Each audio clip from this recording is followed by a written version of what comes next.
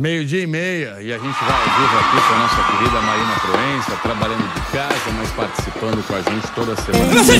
Você!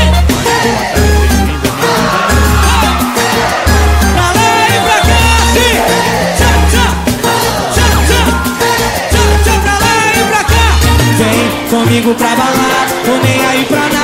Hoje eu vou te puxar, vou te agarrar, vou te beijar. Sensa de sentimento, vamos curtir um momento. Ninguém é de ninguém, a onda é liberar. É por isso que eu vou pra lá, é por isso que eu vou pra cá. Gira, gira, gira, gira, gira, gira e pega. Se te pego, você me pega.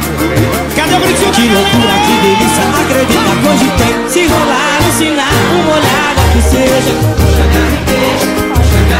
Mordidinha no lábio como quem deseja.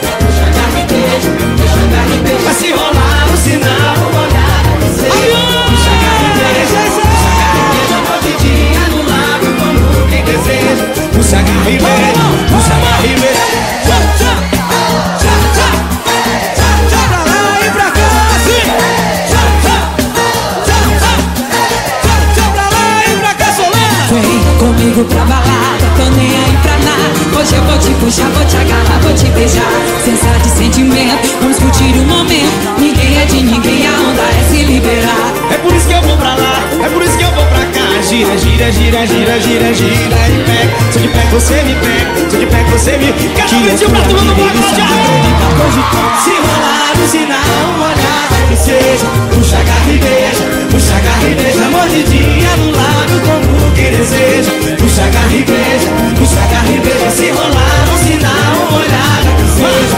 Puxa, agarra e beija, puxa, agarra e beija. Mordidinha no lábio como quem deseja. Puxa, agarra e beija, puxa, agarra e beija. Se rolar, Se alucinar.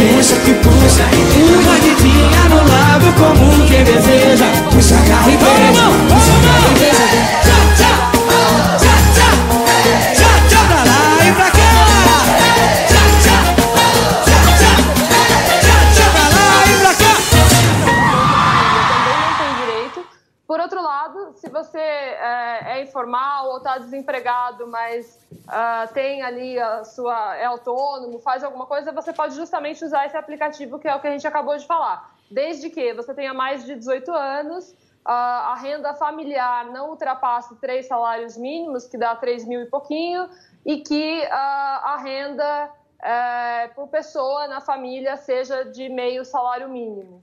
Então, basicamente, essas são as regras através do aplicativo. Se você não tem o, o cadastro lá, do cadastro único, né? Então, é pelo aplicativo mesmo que você tem que fazer essa solicitação. Vou fazer mais uma pergunta aqui para você, do Reinaldo. Ele tem uma pequena funilaria e pintura, teve que suspender o funcionamento, né? Como todo pequeno comerciante.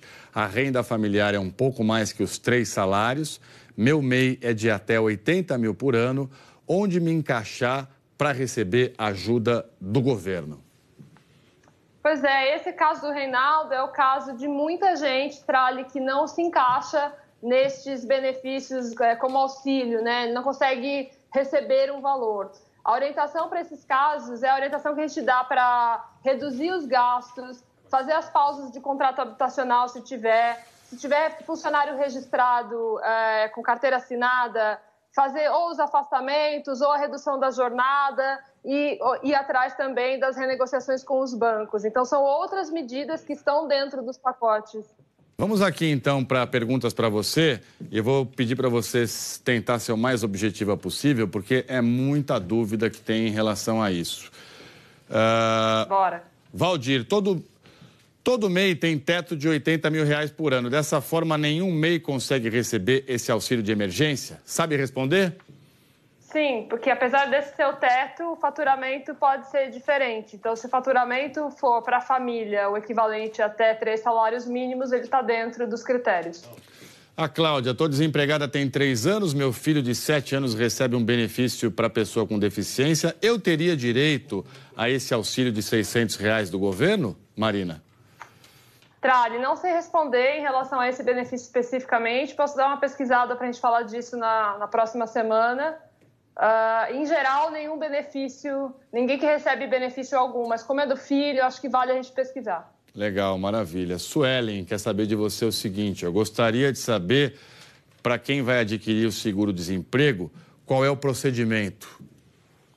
Procedimento padrão do pedido de seguro-desemprego pela Caixa, pela Caixa Econômica Federal. Ela está tá se referindo aí ao, ao seguro-desemprego que é proporcional Uh, não para quem é desligado, né, mas para quem teve a jornada e o salário reduzido. Essa pergunta da Isabel tem sido muito comum, é uma dúvida de muita gente. Meu filho é trabalhador informal, não tem cadastro, não tem MEI e mora sozinho. Ele tem direito a essa ajuda de 600 reais, Marina? Sim, é, se ele é informal, ele tem direito e é através do aplicativo que a gente comentou mais cedo que ele vai fazer esse pedido. A Cíntia, quem, quem já está inscrito nesse cadastro único do governo federal vai receber de maneira automática essa grana de emergência não? Não, não é automático. Tem que fazer a solicitação também, mas aí é pelo cadastro único e não pelo aplicativo. E cai na conta da pessoa, né, Marina? O dinheiro tem que ir para sua conta bancária, né?